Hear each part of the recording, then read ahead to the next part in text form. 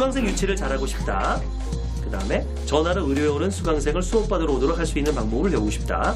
문의는 제게 오는데 수강은 본사로 하라 가네요. 오케이. 어, 요리학원?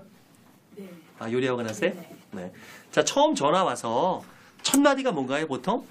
거기 얼마인가요? 이런 거 물어보나요? 뭐부터 물어보나요? 금액은 마지막에 물어보고 예, 예. 저는 좀 특수 분야예요. 네. 일반 요리가 아니고 예. 그러다 보니 금액은 나중에 물어보는데 처음에 어떻게 시작을 해야 되냐 네. 그 다음에 음. 몇번 가야 되냐 한 달에 몇 번, 몇 시간, 몇 가지 음. 가르쳐주는지 이런 식으로 질문이 오죠. 자, 그럼 제가 물어보겠습니다. 아, 첫 번째 질문이 뭐라고요? 아까?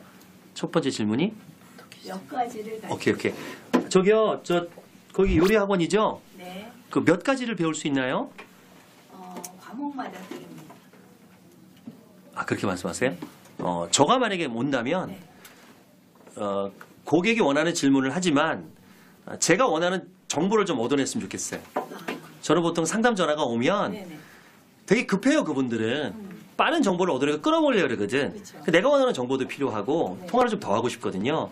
그러면 아, 요, 말, 아, 요리를 배우고 싶어서 전화하신 거 아니면 어떤 일을 하시는데요? 어떤 요리를 배우고 싶으신데요? 음. 요리 배우신 지 얼마나 되셨나요? 어, 이런 거. 이런 걸 물어봐요. 그 상대가 말을 좀 더 할 수 있게. 네네.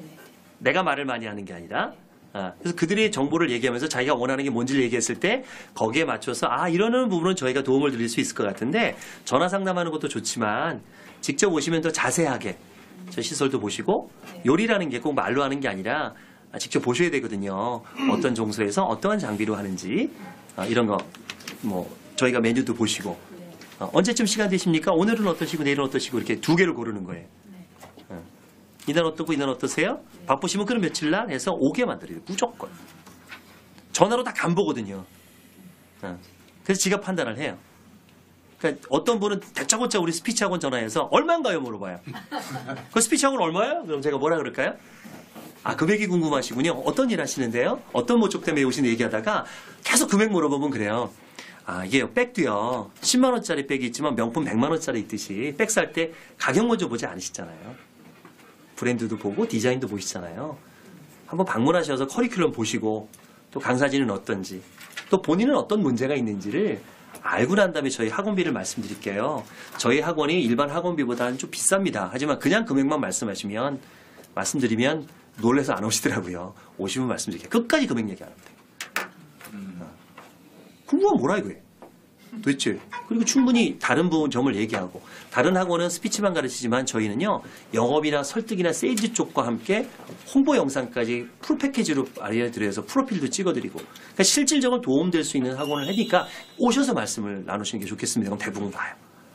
또는 지금처럼 공개 특강을 만들어 놓고 저희가 부담 없이 오픈 특강이 있으니까 그때 오셔서 강의 한번 듣고 오세요. 이런 식으로 오픈 특강을 한 달에 한 번씩 하고 그날 오라고 하는 거예요.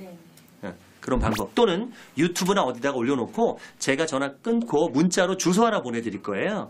어, 저희 학원 소개 또는 뭐 이런 커리큘럼에 대한 안내가 돼 있는 그 동영상이니까 한번 보시고 오시면 좋아요. 하는 방법도 있고. 네. 예.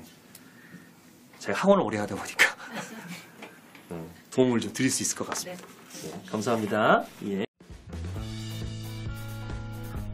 카카오톡에서 이북 받는 법을 알려드립니다. 카카오톡의 친구 찾기에서 그냥 제 이름 김효석을 검색하시면 플러스 친구가 뜹니다. 채팅방에 클릭하시면 되고요. 여기에 추가 버튼을 눌러주세요. 그럼 저랑 친구가 된 거예요. 확인 누르시면 어, 바로 친구가 되고요. 아래쪽에 이북 받기라고 보이시죠? 여기를 클릭하시면 됩니다. 바로 다운됐죠? 여기를 클릭하면 또 다운로드가 돼서 이북을 받으실 수 있습니다. 아, 이거는 화면상에 보이는 거니까 또 다운로드를 한번 더 눌러주세요. 내 휴대폰에 들어와 있습니다. OBM 설정 마케팅 80페이지 오프닝 부분까지만인데요. 도움이 되실 겁니다. 앞으로 저랑 친구 되셨으니까 다양한 강좌나 또 자료들 보내드리겠습니다. 카톡에서 계속 뵙겠습니다. 고맙습니다.